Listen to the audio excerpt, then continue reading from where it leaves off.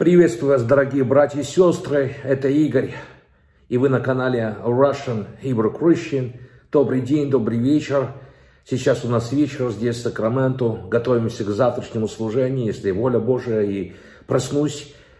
Завтра у нас служение начинается в городе Сан-Франциско. Будем благодарны за все ваши молитвы. Мы благодарим за ваши молитвы, за мою семью, за меня, за служение. Проповеди Евангелия, доброй вести людям здесь, в Америке, а также и в Канаде. Разных людей, которых мы встречаем. Поэтому пусть Бог и вас благословит, если вы во Христе, не бояться, не стесняться, но при любой возможности делиться доброй вестью. Особенно в это последнее время, которое мы живем. Скоро закончится благодать, и мы уже видим суды Господни, но все это будет увеличиваться. Никого не пугаю, ни в коем случае. Наоборот, поднимем глаза к небесам. Господь возвращается. Также обращаемся ко всем неверующим в Иисуса как Господа. Читайте Священное Писание, читайте Новый Завет, размышляйте, исследуйте, открывайте свои сердца, потому что без веры во Христа, как Господа Бога, у вас проживается жизнь напрасно. Никто не увидит жизни вечной. Ни евреи, ни мусульманина, ни буддист, никто не может наследовать вечную жизнь без веры в Иисуса как Господа и Бога.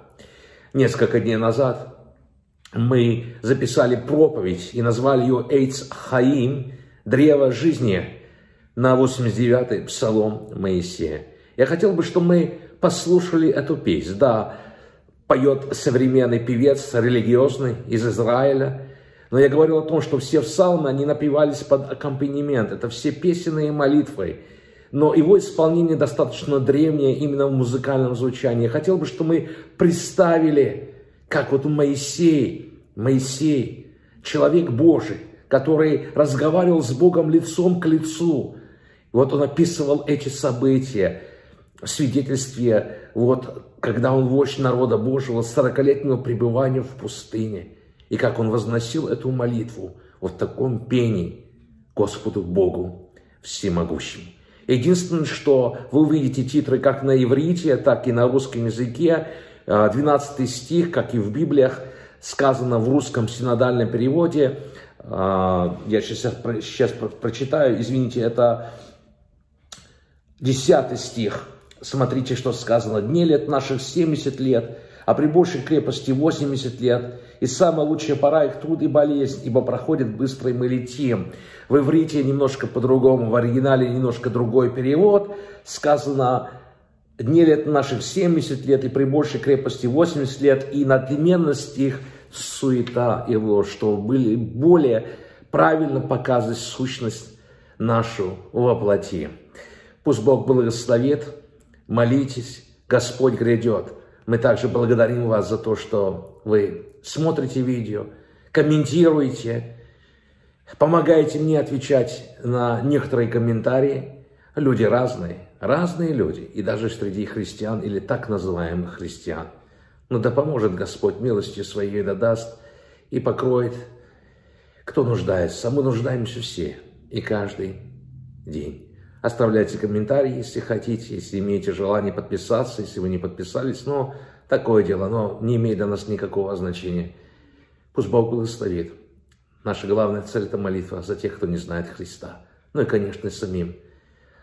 Самим наблюдать за собой и жить в освящении. И послушаться Слову благодати. Благословение. Мир вам.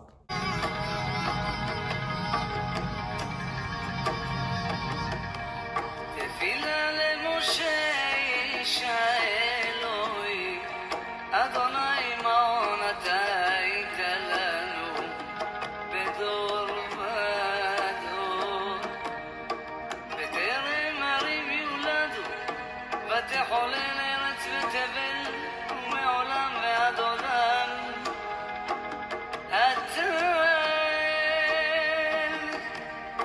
תשב אין ראש עדקה ותאמר שובו בני אדם כי אלף שנים בעיניך כיום אתמול כעבור והשמורה בלילה.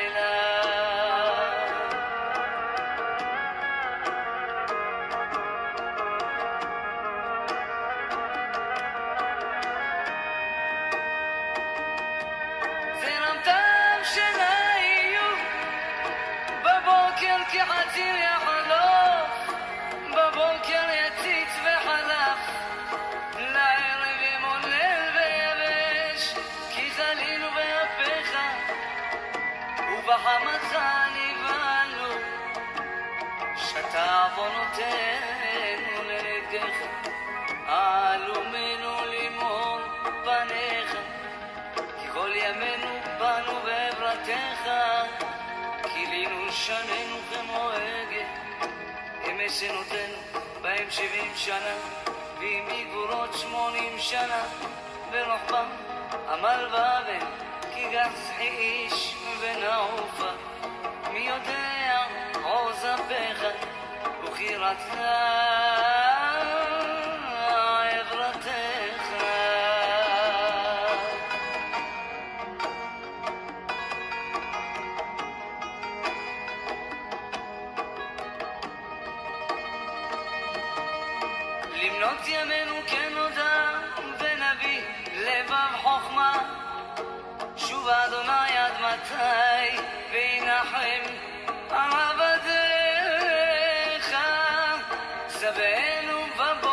חסדך ונרננה ונשמחה בכל ימינו.